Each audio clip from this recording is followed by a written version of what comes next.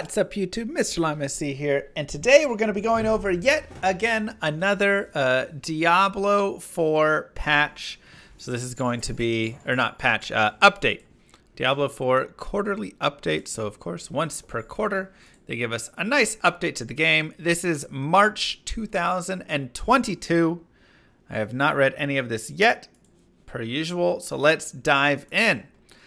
Hello and welcome to the first quarterly Diablo, uh, first Diablo 4 quarterly update of 2022. We hope you enjoyed last quarter's update on systems, itemization, and visual effects. That blog and our previous updates are available if you missed out.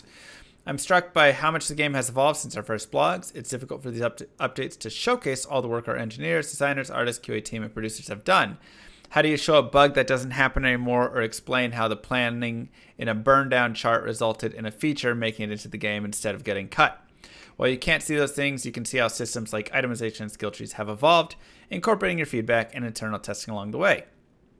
You can also see how much closer we're getting to our artistic and thematic targets of dark, low fantasy gothic horror. And keep in mind the images you'll see today represent a work in progress. Many artists need to work together to, de to deliver Diablo 4 with top tier visual quality we can be proud of and the promise of an immersive world you can wander through and enjoy getting lost in. The seamless game you play is a composition of many layers of art and visualization, from lighting to environments to props and interactives. Today we have artists from many of these layers here to talk about their craft and everything that goes into building the world of Sanctuary. We hope you enjoy this update and look forward to your thoughts and reactions. We have exciting things to share this year, and we're grateful to have you with us on this journey.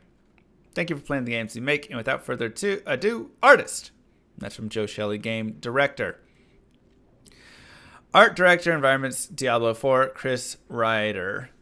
The team has been hard at work and we're taking you behind the scenes on how we've developed the environments of Diablo 4. You'll hear from our associate art director, environments, Brian Fletcher, associate lighting director, Ben Hutchings, lead exterior environment artist, Matt McDade, and lead props and interactive artist, Chaz Head.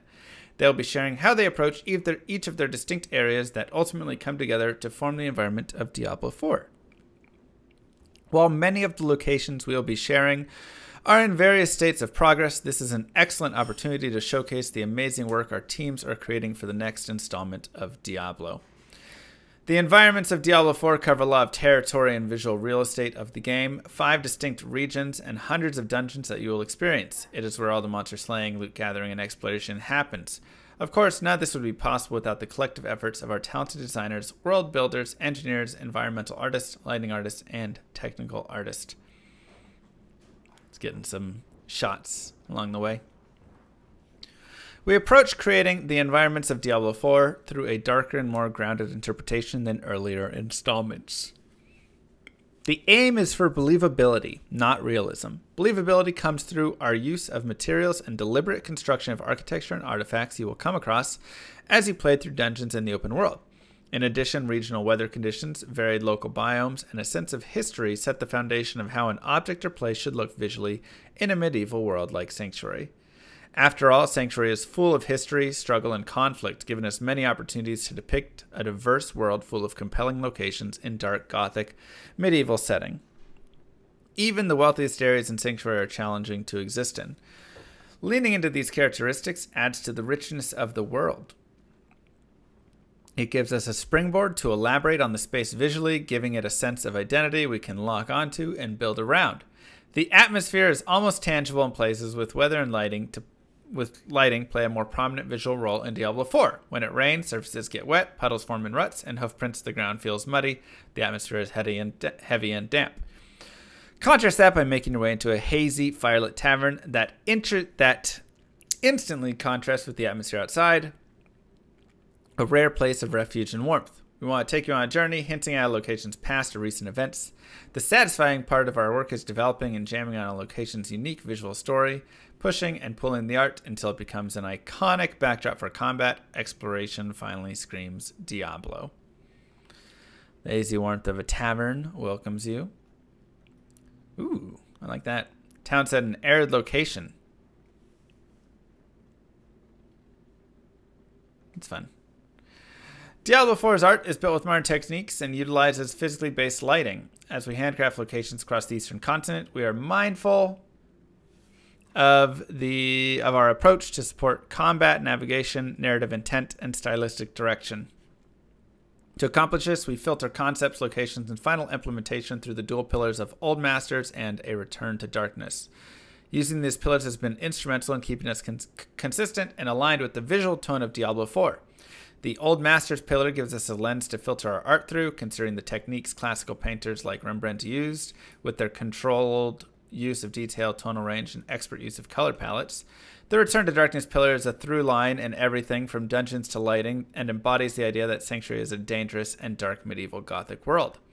Additionally, we play to the iconic Diablo game camera, choosing where to add or remove detail to help the readability of the gameplay, space, or accentuate visual interest as needed.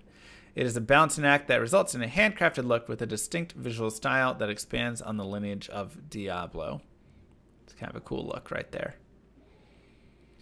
It's exciting and inspiring to see the daily progress and hard work the environment art teams are creating. Let's jump into more specifics and hear from Brian, Ben, Matt, and Chaz on the six locations we feel illustrate our approach and the concepts we keep uh, of mind when building the environments of Diablo 4. The World of Sanctuary. I'm excited to talk about the open world of Diablo 4. We have five captivating zones to explore. Each region is fraught with dangers of their own kind, many routes and hidden corners to uncover. How you chose to make your way through the vast world is up to you. The art and design teams have constructed a contiguous world where you can roam from coast to coast or high up into the glacial ridges. For the environment art team, we want to ensure each handcrafted location is distinct and immersive. Looking through the Diablo 4 lens that Chris alluded to earlier, the environment art interacts and lighting teams strive to hit the tone that supports the Return to Darkness pillar. The Scosglen Coast.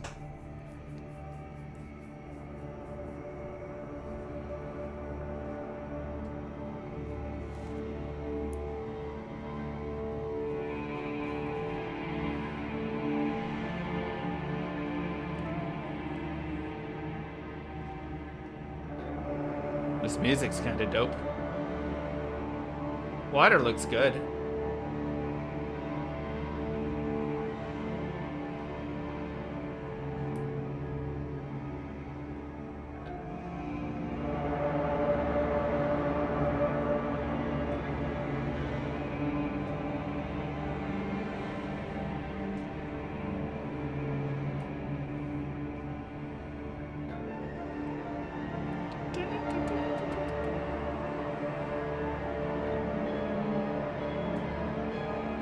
Ooh, look at the grass.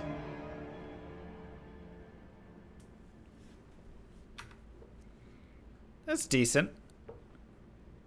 I'd like to see more colors. Grass looked really good. For the Scosglen Coast environment, art team set out to tell the story of untamed wild shorelines and headland. Yeah, I mean, sometimes they go for darkness and it gets a little too muted, you know?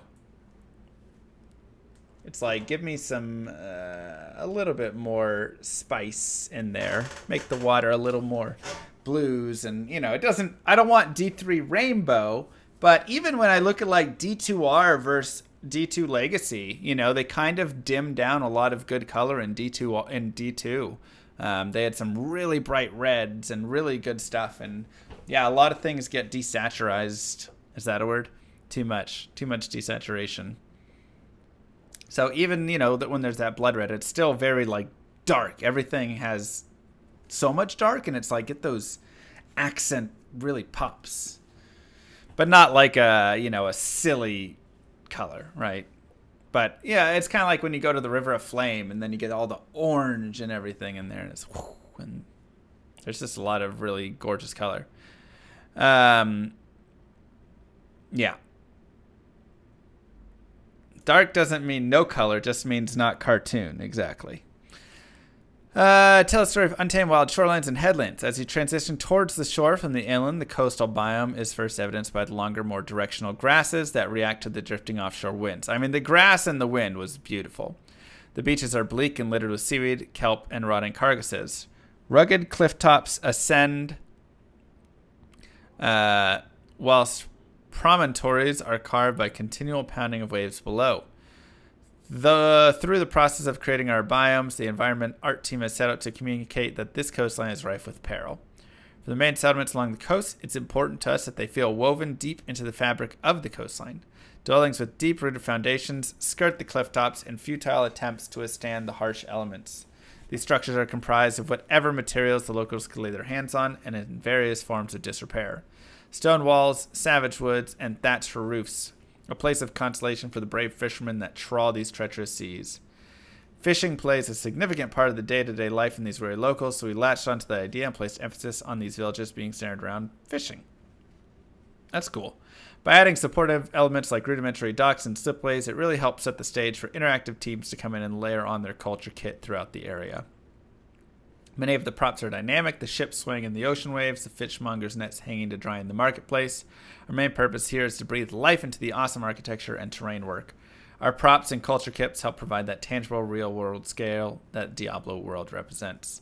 The Drowned Culture Kit here is all interactable or breakable.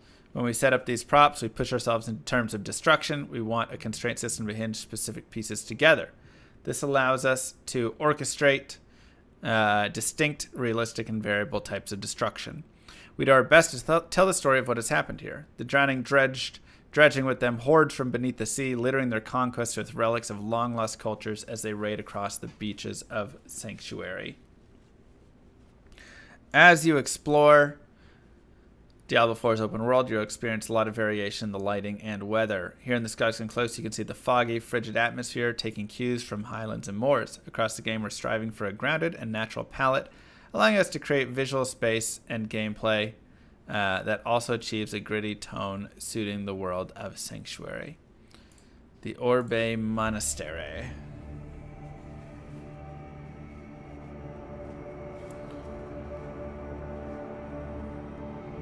Okay, going for that Act 2 look.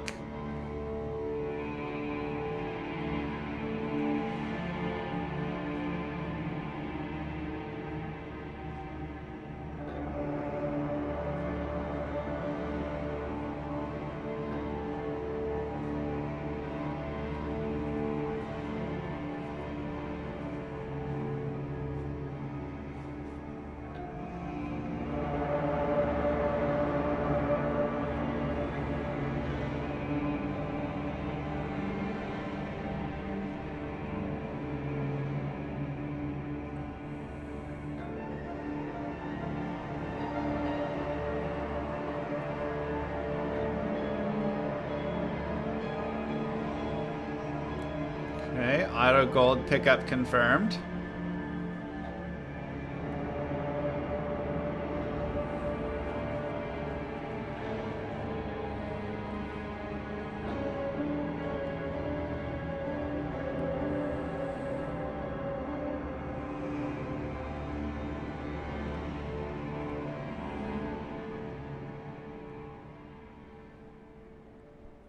Still a little muted. I liked the, you know, I liked the look a lot of it though. I did have a little bit of a, yeah, a little Breaking Bad filter going on. It felt like. Uh, the Orbei Monastery is an isolated and secretive feature in rural dry steppes. While the Zakarum's presence has diminished, the monastery carries evidence that the places, places of worship for the Zakarum can still quietly function. Since the location here is in the desiccated plains of the dry steppes, we aim to push the notion of dusty grasslands with sparse vegetation. We've made the conscious decision to add dark rocks that complement the pale blonde and rusty grasses. Pop- poplar and saxaul trees cling to the ground, which really helps them provide parallax movement on screen. This contributes to the greater depth as elements in the foreground move quicker than those further in the back back in the scene. I mean, I did think it. This area was was prettier to me. To help provide extra visual interest in the region, the environment art team created a salt flat biome, being able to have blue alkaline lakes skirted with salt encrusted tufas, tufas, and vivid geothermal pools really helps add pockets of vibrancy to the dry steppes and create compelling natural landmarks.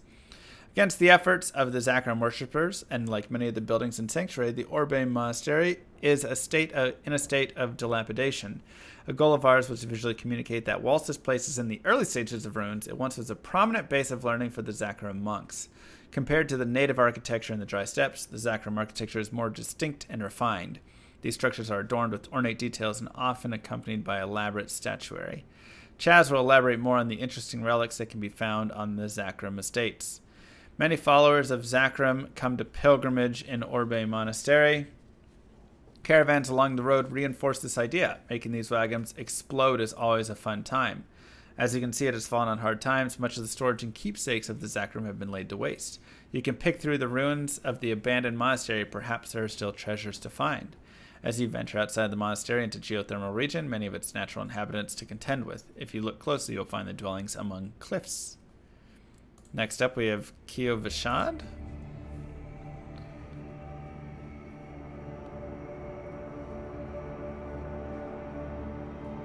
So dusty.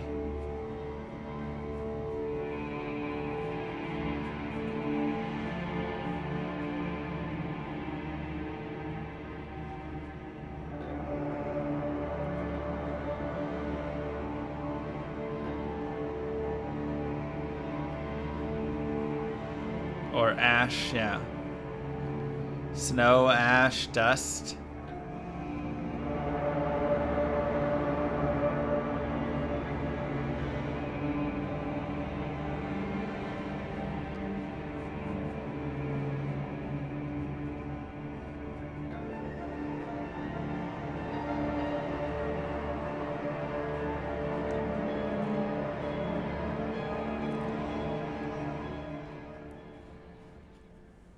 The verticality of the maps is really cool.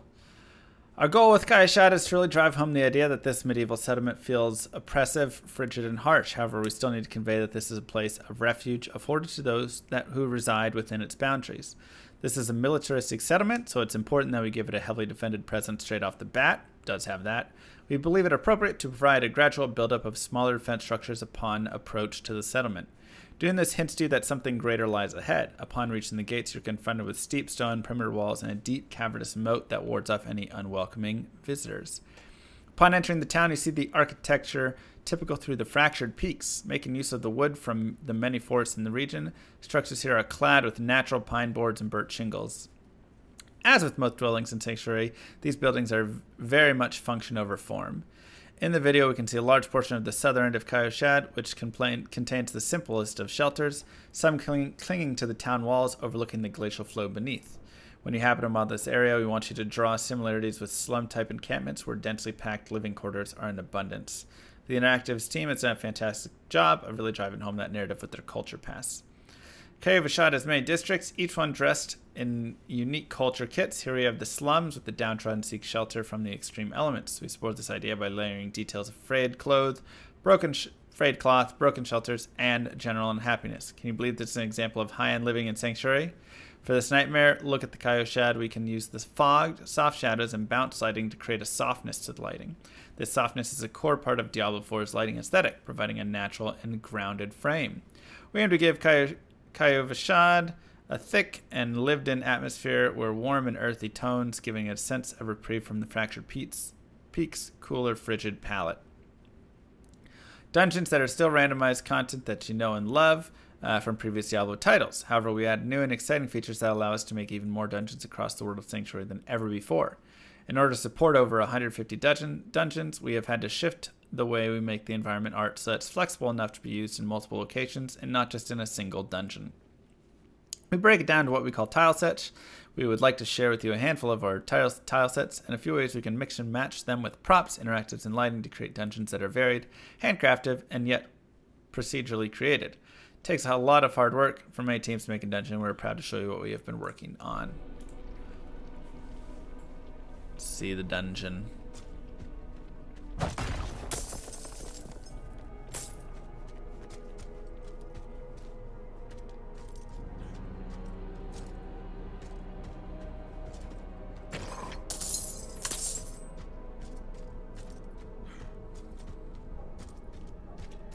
I really do agree about the verticality of these maps. I mean, this dungeon's like layout is super cool.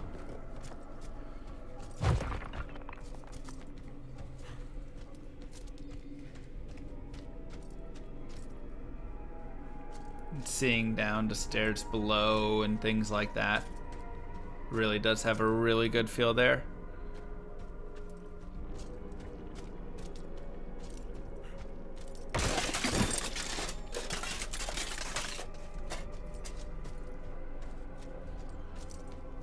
Now, yeah, it does a little bit have the D3 map skinny pathway style there, and I hope that that's not something that is always uh, going to be in every dungeon as such, you know. An example of how we have returned to darkness. We want you to take we want to take you deep underground to the darkest recess, recesses of Sanctuary, where mysterious and gross corruption has taken root. The ancient temple is a great place to push some primal horror vibes. The fixed camera is one of our best tools since it allows us to place assets in the foreground without blocking the play, playable space. Because we always know where you're looking, we can dial in and customize the layouts, vistas, and foreground elements to make sure there's a good composition.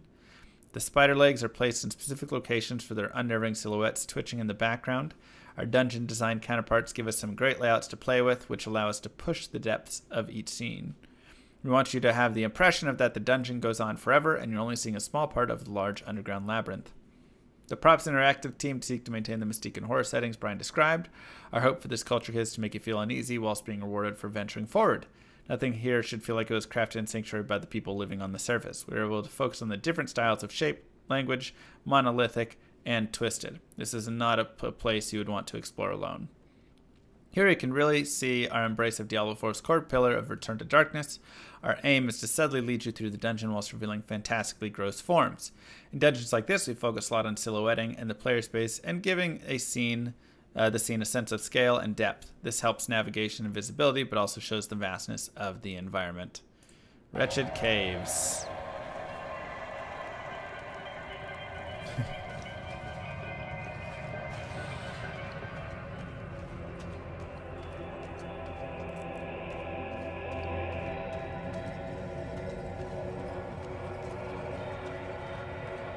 Creepy.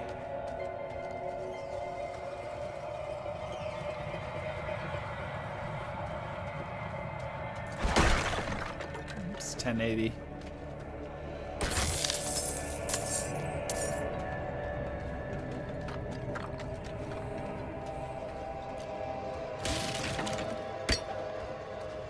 Very green, yeah.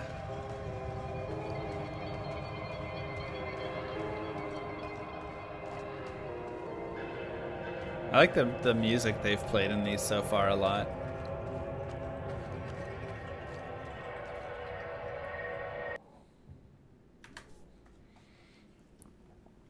The world of Diablo 4 is incredibly large, utilizing numerous uh, unique tile sets to cover all the various zones, biomes, and cultures. In order to create so much high quality content, we found clever ways to reuse our tile sets and add enough variety to cover 150 plus dungeons, all providing fresh experiences each time. One way we can do that is by dressing up tile sets with various themes. This next dungeon is a hidden druid resting site overrun with demons. As you travel through the dungeon, you'll see that it's covered in many druid, druidic cultural items such as talismans and charms. We place a lot of these items on a layer that can be turned on or off depending on what the theme of the dungeon is. In one dungeon, it's a druid burial site, in another, it's an uninhabited dark cave. Adding these sorts of details is a great way to add a lot of visual interest as well as visual storytelling. These assets were made by several teams, so this is a great example of many groups coming together to contribute to a final environment. We're able to expand the Druid culture kit in this dungeon. In many ways, the Druid is an exciting return to the Diablo franchise, no less for Props Interactive. Expanding on this unique class by providing full kit for its reclusive people, it would be easy to make the Druid's prop fantastic, but we stretch ourselves to come up with fun ways to keep the culture kit grounded while not turning the Druids into something they are not. I hope when you play Diablo 4, you get a sense of their magic while not betraying the dark and gritty world the Druids reside in. Flooded Depths.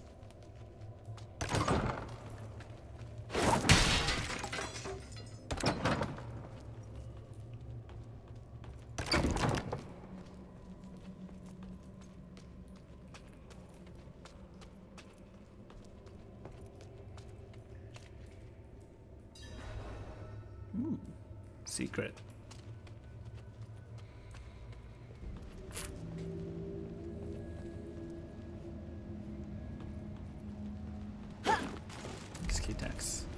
Oh, okay. So we can cross ropes.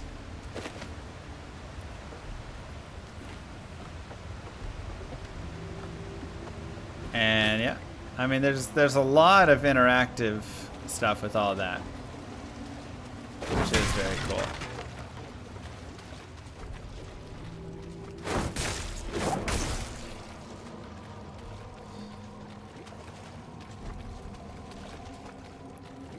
I'm totally cool with that. Yeah. New dungeons features such as seamless floor transitions or traversals are exciting, but my favorite new feature is what we call tile set transition scenes. These are scenes that allow us to connect two different tile sets together in the same dungeon. Imagine running through a crypt, only find a hole in the wall that seamlessly leads you to a deeper, into a vast underground cave network, all keeping the randomized layouts that change with each each dungeon run. In this final video, we show two tile sets joined together by a tile set transition scene. The first floor of this ruined uh, keep remains dry and fairly intact, but as you journey deeper into the dungeon, you'll discover that the lower levels have decayed from endless floodwaters pouring in. This swampy ruin is perfect for the drowned to move in and fortify themselves deep below. You have to fight your way through their defenses and climb across the rope to transition deeper into the flooded ruin tile set.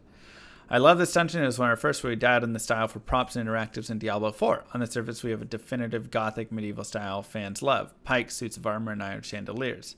I hope this set reminds you of what Diablo means to so many of us. Part of that is the vision. Uh, part of that vision is the sense of danger of exploration. As you dig deeper, things get gritty. As you descend, you will encounter obstacles seemingly out of place. The drowned have invaded this ancient manor and dragged their obscene valuables across the floor. This gives us the opportunity to mix, mix kits, and I hope you agree the mold and crusted assets are gross. Things should feel familiar but tainted by the sodden hands of the drowned hordes. Excited to be able to merge two distinct visual styles. Here we see the dark, foreboding hallways that keep lead down to the putrid, awkward tones of its depths. In both, we can see the same approach to lighting these dungeons with different executions. The keep has a very oppressive, dark, very selective lighting scheme, hinting at pathways through the corridors steadily with soft lighting. By contrast, the flooded depths use putrid green and yellow tones to really give the dungeon the feel of damp, heavy atmosphere.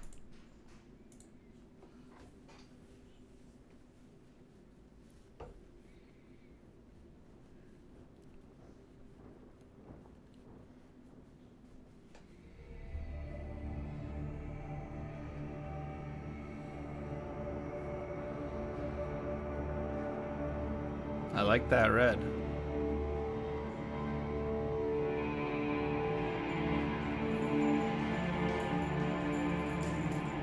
It's the brightest color we've seen.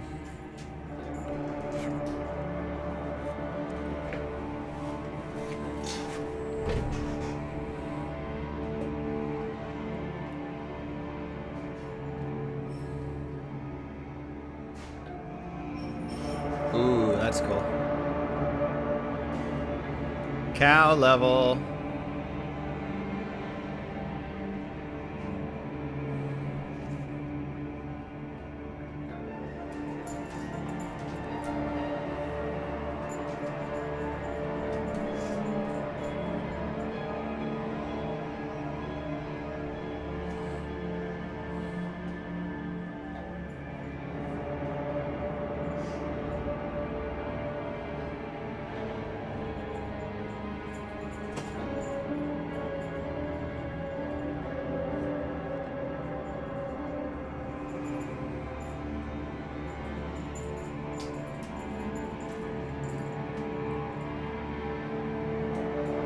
That looks cool in there.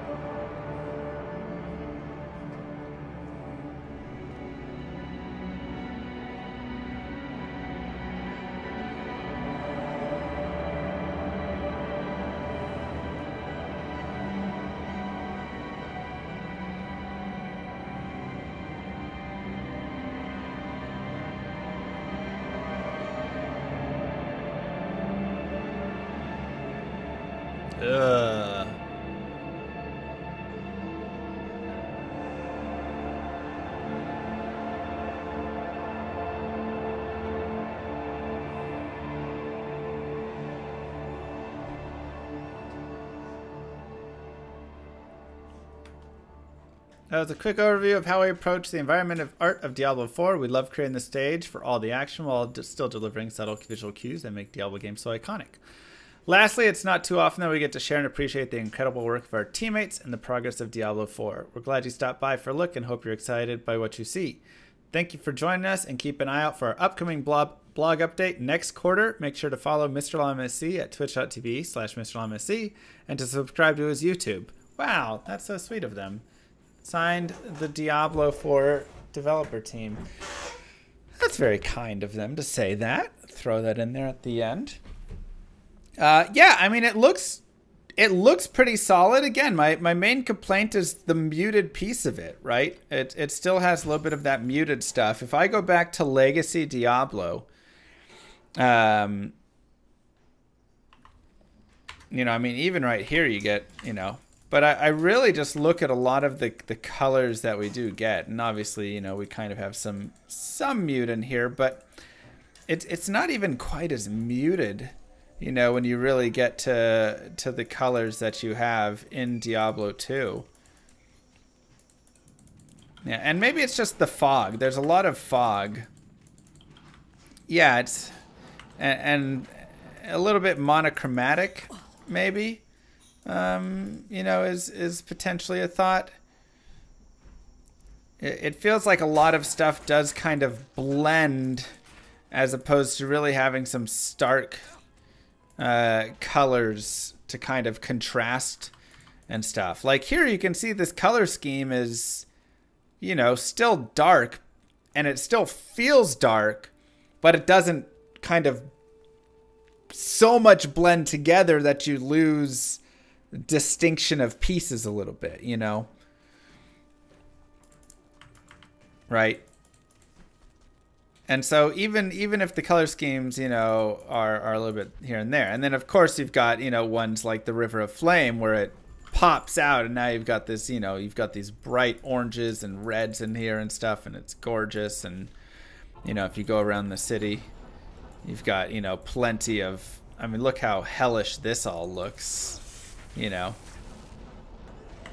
So you've got darkness, tons of darkness out here but still a lot of uh, you know a lot of that and you know and i mean even when you go out into here again you, you have you have these colors that still do have a lot of that similar color uh, style but you know and i'm really just looking at the colors here but there's still a lot of difference between the wall and the ground and all of this, and I feel I feel a little bit that does maybe get lost, just slightly. Yeah, just a little bit more contrast. Now, that being said, uh, I thought you know a lot of these areas did look really beautiful. You know, there's plenty of areas in here that look really good this one. You know, like this looks amazing and stuff, right? This is probably one of the best, most contrasted areas. But I did feel like some of these dungeons and some of these things were a little bit, had a little bit of contrast work to be done. But very cool. Very cool everything uh, that they're doing right there. Obviously, I, I, you know, I'm always with the simple idea of doesn't matter if the game's not good, right? So I'm always like, show me more about the mechanics and the items and the gameplay and all of this stuff. But at the same time, how a game looks, how a game sounds is very important still, right? Like you want to have a good base game, but all of the pieces on top, you really want to have good quality in there as well. Um, and so you know, so I'm hopeful. I'm I'm hopeful that this is going to be, uh, you know, just a beautiful game, and that the gameplay will follow, and it'll it'll also be uh, beautiful there as well, and super fun, and we can all move into it and have a good time and get thousands of hours out of that as well. Um, yeah, so we'll see we'll see. The music, the sounds, the audio was very good in, in this as well, from what I saw. They didn't really talk about it here at all. They were talking about the visuals, but the audio pieces to go along with it. Uh, you know, there were some chills a little bit when we were walking around uh, in a few of those places. So you know, that's that's good. That's what you definitely want to have is a little bit of a little creepiness and a little bit of the chills there. Um, yeah. So I'd love to hear your guys' thoughts on uh, how it is, how you think uh, it will be there, what you liked or didn't like about it right here. Maybe you're like, no, I like the fog darkness that they kind of have going in there, and that plays even better into it.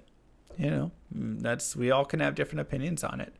Regardless, go and leave your comments down below. Don't forget to like and subscribe. Appreciate you guys being here. Peace, YouTube. I'll see you guys next time.